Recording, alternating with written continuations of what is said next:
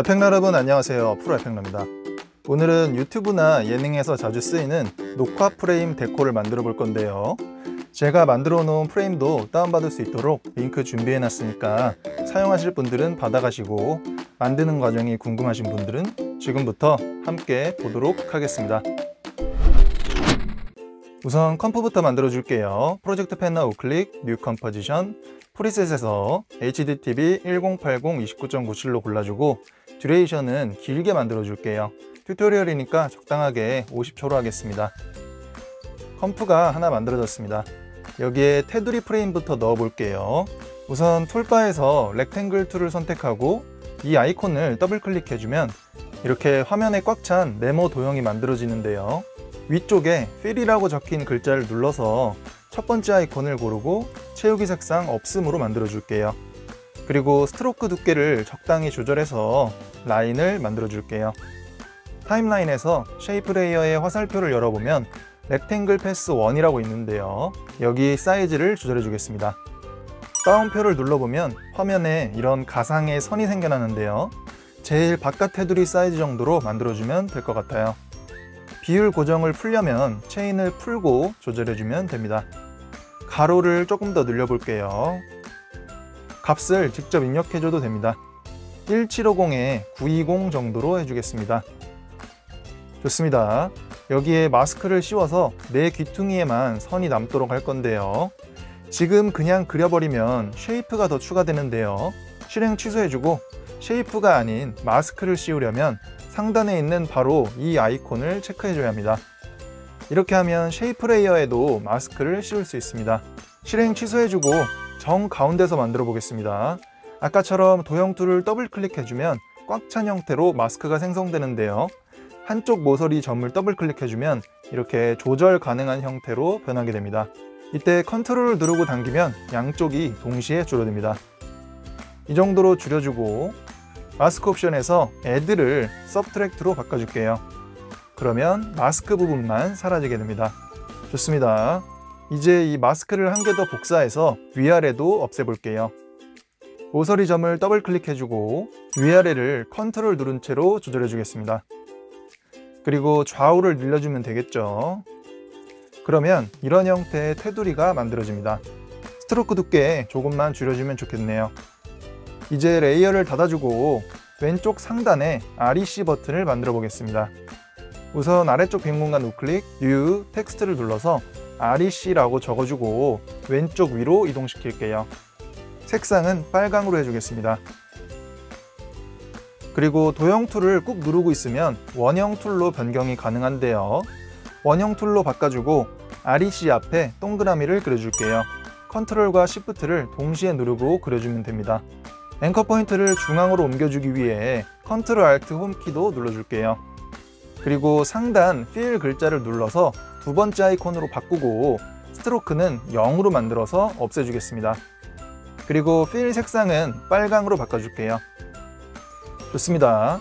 위치를 적당히 조절해 줄게요. 이번에는 우측 상단에 배터리 아이콘을 만들어 보겠습니다.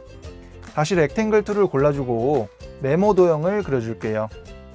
이렇게 그려주고 Fill은 다시 없음으로 만들고 stroke 두께는 살짝 올려줄게요. 그리고 이 shape를 수정 가능한 상태로 바꾸겠습니다. layer 화살표를 열어서 Rectangle 1을 열고 Rectangle Path 1을 우클릭해보면 Convert to Bezier Path라는 버튼이 있는데요. 이걸 눌러주면 수정 가능한 path로 변경이 됩니다. 이 상태에서 pen tool을 선택하고 점을 더 추가해 볼게요. 이렇게 두 점 추가해주고 중앙에 하나 추가하고 옆으로 옮겨주겠습니다. 마찬가지로 점 하나 더 추가하고 이동시켜주면 배터리에 볼록 튀어나온 부분을 만들 수 있겠죠. 포인트들을 잡고 미세 조절을 해주겠습니다. 그리고 배터리 안쪽 네모 도형을 만들어 줄게요. 이렇게 네모를 그려주고 스트로크는 없음, 채우기는 연두색으로 해주겠습니다. 4개가 들어갈 정도로 크기를 적당히 조절해주고 컨트롤 D로 복제하고 옆으로 옮겨주겠습니다. 이런 식으로 복제해서 총 4개로 만들어 줄게요. 옆에 공간이 조금 남는 것 같아서 배터리 크기를 좀 줄여주겠습니다. shape layer 한 개로 만들 걸 그랬네요. 일단 초록색 네모 4개를 모두 선택하고 parent를 배터리 아이콘에 걸어줄게요. 안 보이면 F4 눌러주세요. 배터리 아이콘의 중심점은 Control Alt Home키로 옮겨와주고 이 layer들 모두 선택해서 색상 라벨을 바꿔주겠습니다. 아까 REC 버튼도 구별하기 쉽도록 두 layer 선택하고 컬러를 바꿔줄게요. 좋습니다. 배터리는 적당한 위치로 이동해주고 어, 한 개 정도는 눈을 꺼주는 게 좋겠네요. 이번에는 왼쪽에 소리를 표시하는 데코를 만들어 볼게요. 우선 텍스트를 하나 만들어서 LR이라고 적어주겠습니다. 왼쪽과 오른쪽 사운드를 나타내는 거죠. 색상은 흰색으로 해서 왼쪽 아래에 위치시켜주고 선택을 해제한 상태에서 pen tool로 짧은 막대를 하나 그려보겠습니다. 그리고 stroke 두께를 적당히 조절해서 한 칸에 해당하는 모양을 만들어 줄게요. layer 옆에 화살표를 열어보면 Add라는 하얀색 아이콘이 보이는데요. 여기를 클릭하고 repeater 효과를 추가해 주겠습니다. 그러면 지금 우측으로 repeat 된 게 보이죠? 옵션을 조절해서 위쪽으로 가게끔 해보겠습니다. 여기 Transform Repeater 1을 열어보면 position의 첫 번째 값이 100으로 되어 있는 게 보이죠? 이것 때문에 우측으로 복제되고 있습니다.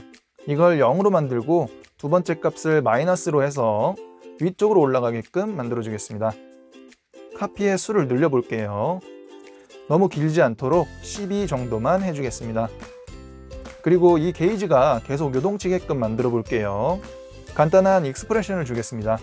copy의 시계 모양 아이콘을 Alt 누른 채로 클릭해주면 expression 입력창이 나오는데요. wiggle 열고 10,10 괄호 닫고라고 적어주겠습니다. 첫 번째 값은 초당 움직일 횟수이고 두 번째 값은 움직일 숫자입니다. 너무 많이 움직이는 것 같네요. 두 번째 값을 5로 낮춰줄게요. 좋습니다. 색상은 연두색으로 바꿔주고 이걸 복제해서 R 부분에도 위치시켜 주겠습니다. 두 개가 동시에 움직이는 걸 방지하기 위해 하나는 expression 값을 살짝 바꿔줄게요. 앞부분을 10이 아닌 9로 해주겠습니다. 이런 식으로 조절해주면 서로 따로따로 움직이게 됩니다.